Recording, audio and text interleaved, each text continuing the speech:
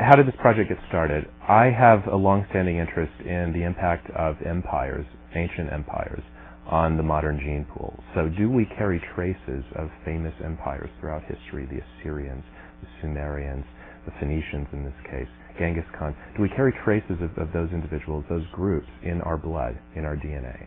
And so when I, I, think about these historical problems, I think in terms of biological ancestry. Are people living today in a particular part of the world related to these, these great empires in some way? Did the empires have a genetic impact on a particular region? Um, and so in, in, thinking about these very general uh, ideas, uh, I talk to a lot of people, a lot of archaeologists, and a lot of geneticists who work in various parts of the world.